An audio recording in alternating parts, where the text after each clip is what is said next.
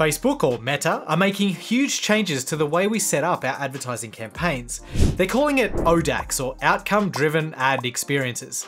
But take away that fancy name, and essentially what they're doing is they're completely changing the campaign objectives that we see when we go to set up an ad campaign. Now, obviously, this is a big change. So in this video, I'm going to walk you through the impacts it's going to have on advertisers and what you need to change inside your ad account once this change rolls out to you. That includes which objectives you're going to need to use once this change rolls out to your account compared to the ones you're currently using. And now I say once this rolls out to your account because this has been rolling out for a while since the beginning of 2022, but it's still not in all accounts and it won't be in everyone's account account until Q3 2022. So if you don't see it yet, just know that it is coming and you will see it pop up in your account sometime soon. Essentially, ODAX is just a consolidation of the existing 11 Facebook ad campaign objectives down to just six. You can see exactly how they are changing in this graphic from Meta. Brand awareness, reach, and views are being rolled down into a single awareness objective.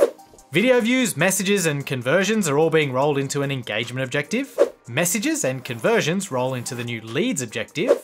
Conversions, catalog sales, and store traffic all roll into the new conversion objective and traffic and app installs essentially stay the same. Now you're probably worried about potentially losing functionality as a result of this change, particularly if some of those objectives that I just mentioned are actually disappearing as part of the consolidation. But the good news is we're not actually losing anything as part of this change. All the functionality will still remain there, it just changes the way we set things up. To show you what I mean here, let's use video views as an example. So you can see that actually in the new structure, it's going to fall under two different campaign objectives, but I'm going to use engagement for this particular setup. Now engagement by definition could be many things. So what we can actually do is when we set this up, we choose engagement, then at the ad set level, we can actually specify what type of engagement that we want. So you can see, first of all, we can choose where we want to drive the engagement, whether it's on our ad, inside a messaging app, on our website, or on our Facebook page. From there, you can choose the engagement type. So as you can see here, we've got video views, post engagement, or event responses. In this case, if I wanted to drive video views, I would simply choose video views. And then as we had previously, we can still go down here to the optimization and delivery section and choose whether we want to optimize for a ThruPlay or a two second continuous video view. As you can see there, this isn't about giving Facebook more control to kind of do whatever it wants and take away control from the advertiser. We still have a high level of granularity in terms of being able to specify exactly what we want here. And I think that's a good thing. Now another example, if I wanted to create a reach campaign like I currently do, I can simply choose the awareness objective and then at the ad set level, I can tell it that I want to optimize for reach. And that is just like running a reach campaign in the current setup. Now when it comes to leads and sales, that's where things get a little interesting and it might not be as crystal clear in terms of exactly what the best setup is going to be there. So let me walk you through all of that. But before I do, I want to take just a quick second to talk about this week's sponsor, Skillshare.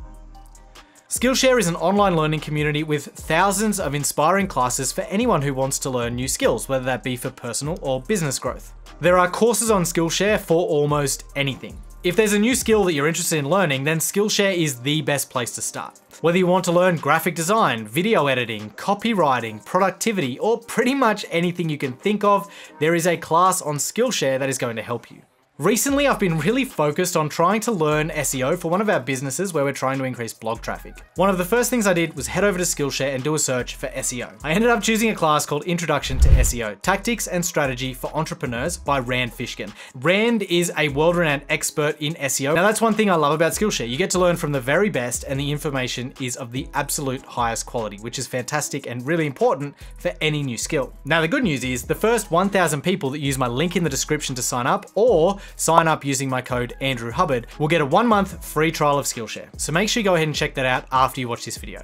Okay, so let's talk about the leads and sales events because they're most likely the ones you're going to be using most often. Now, one thing you'll notice when we create a new campaign and we choose the new leads objective, the events that we're actually able to optimize for at the ad set level are limited, and that is something that didn't happen previously with our conversions campaign setup. So if we go here, you can see we can choose complete registration, contact, lead, schedule, or a bunch of others. But grayed out are things like purchase, initiate checkout, and a series of others. So what this is now doing is it's limiting the conversion events we can choose to optimize for at the ad set level to those that line up with our campaign objective that we've chosen which is leads. If we hover over purchase, you can actually see that it gives us a message that says this event is only available if we're using the sales objective. Now this is really interesting and quite frankly, I think it's a great idea because it simplifies the selections for particularly new Facebook advertisers. It makes the whole process easier by giving you a little bit of guidance in the right direction. And what you'll notice is if we create a sales campaign now, and we go down to the ad set level, we actually can only select a different subset of conversion events now. We can select purchase, initiate checkout, and a series of others. We can't select lead or any of those other events that we could previously select under the lead campaign objective. So my advice is always select the campaign objective that matches closest to what you're actually trying to achieve with your ads. So if it's purchases, then choose sales. If you want leads, choose leads.